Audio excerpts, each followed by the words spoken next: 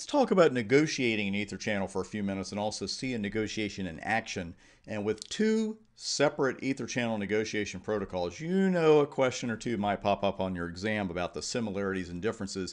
And I'm going to tell you a couple things you just need to memorize straight up about these two protocols in the next couple of minutes. Whether it shows up on your CCNA exam or a future exam, you're going to need to know this stuff sooner or later. Now, the industry standard Ether channel negotiation protocol, that's LACP, the Link Aggregation Control Protocol. The Cisco proprietary Ether channel negotiation protocol is the pain in the butt to type port aggregation protocol, PA, lowercase g, uppercase p. And while you might not like typing PAGP a couple hundred times in another book, uh, you might love how the protocol dynamically changes all of the other ports in an ether channel when you change a property of one of them statically, whether that be speed, duplex, or another setting. So you can see where that would possibly come in handy. And of course, anytime you change speed and duplex on one end of an ether channel, you're going to need to do it on the other. Now, something else I want you to know about the LACP, it's probably a little beyond the CCNA scope, but you should know this. It's defined in 802.3 AD and it assigns a priority value to each port with ether channel capability.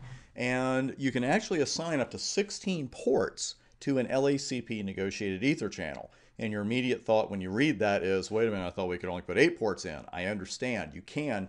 Only the eight ports with the lowest port priority will actually be part of the ether channel. What you're doing in effect is uh, creating backup ports for the ether channel in advance because the remaining ports would be put into the bundle only if one or more of the already bundled ports fails. So you would actually need something else to indicate to you, you know, hey, this port just went down, uh, some kind of management device because your ether channel is actually going to stay at capacity because one, one of these standby ports will step right into uh, the role and be a primary bundle, bundled port. Now with PAGP, I would know Stone Cold, PAGP, and LACP and their modes. PAGP, the modes are desirable and auto. Now, desirable, a port in desirable mode will initiate bundling with a remote port. A port in auto mode waits for the port on the other end of the trunk to start the process. Now, the thing is, if the ports at each endpoint are in auto, you'll be waiting forever forever, forever. You really will. You'll be waiting forever because they're each waiting for the other end. Each end is waiting for the other end to start the process. LACP, same thing, but different names for the modes. With LACP, we have active and passive, and you know, that's pretty self-explanatory. Active is initiating, and passive is just sitting there waiting to be initiated upon, if you will. And if the ports at each endpoint of a trunk are passive, they will not join an ether channel. It will never happen. So let's go ahead and bring the live equipment up and review those modes. We'll see them here with the channel group command. And by the way, the switches were initialized between videos, so everything previous is gone, referring to ether channels. And let's go ahead and look at those modes again.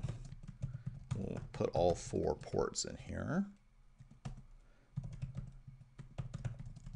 And we'll go with two again and mode again. And this time we are going to go with one of the PAGP node modes. And we get the same channel group 2 mode auto and the message about creating a port channel interface. Now, notice though the line protocols have all gone down. That's going to happen when you don't use the on option. So you should see them a few seconds later come right back up. And we did just that. So let's go over to switch 3 do the range thing again. Let's try that again. And channel group. We'll use three again. Mode. And which one are we going to use? Let's try auto. See what happens. Port channel interface. Port channel 3 is up, or it's been created, but we see the line protocols, the physical ones, all going down. We'll hang out here until they come back up naturally. And there they are. So we will run a quick show interface port channel 3. And, huh, this is interesting because we never did see a message about it coming up. The line protocols all came up. But notice now we have port channel 3 is down, line protocols down, not connect. Hmm. We were connected a second ago because we saw the trunks at the very beginning of the, of the uh, lab part. So let's go over to switch 2.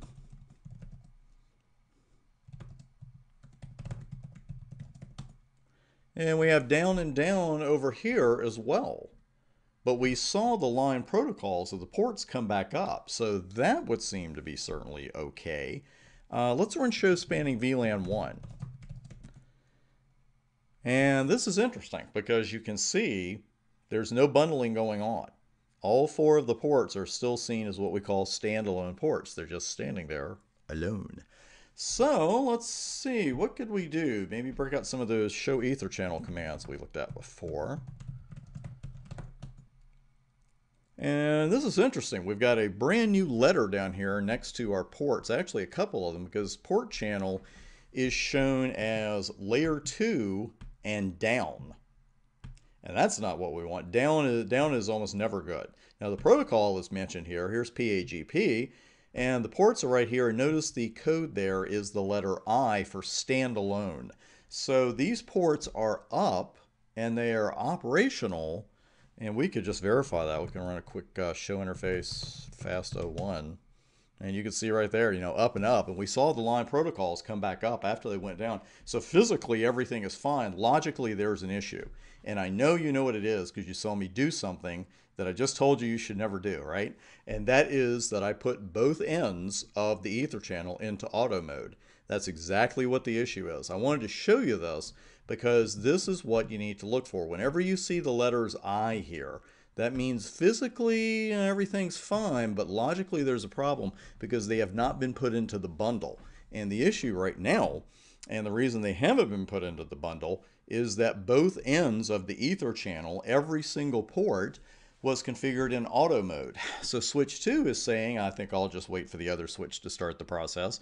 And switch 3 is saying the exact same thing. So that is not going to get us anywhere. We could come back an hour or a year from now and we're still not going to have anything to see as far as an ether channel goes. So what mode do we need to put these in without looking? Remember what which one that was?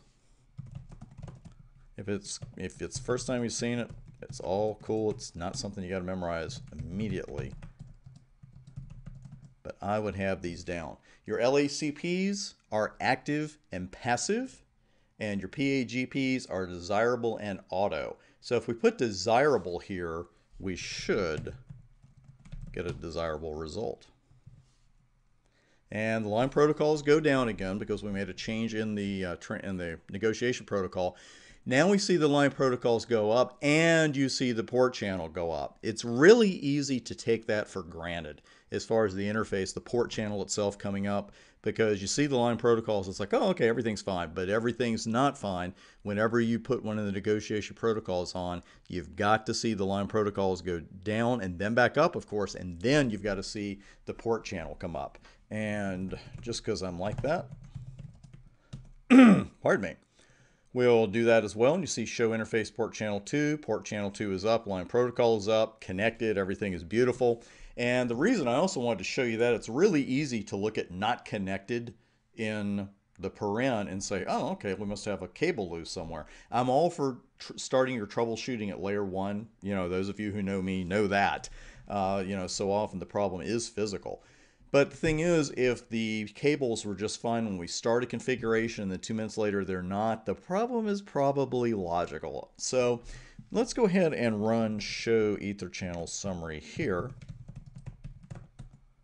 And you can see now the ports are in the bundle. There's the protocol PAGP. Under port channel, we now see uppercase S and U, which means it's layer 2 and it's in use. And all four ports have been successfully bundled as indicated by the letter P, bundled in port channel. And let's go ahead and look at that one more time.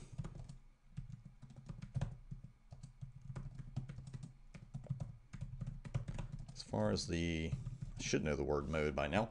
Just be clear on which ones belong to LACP, which ones belong to PAGP. And if you worked with LACP, we're not going to do that because we'd really just be replicating what we just did. If you're running LACP and each end is configured for passive, you're going to see much the same result that we saw previously here in that everything looks okay, but the bundling doesn't actually take place. So again, that show ether channel summary is a great place to start and check the status of your individual ports.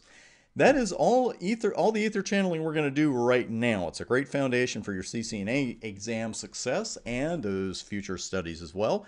And we're off to another topic. Take a breather and I'll see you there.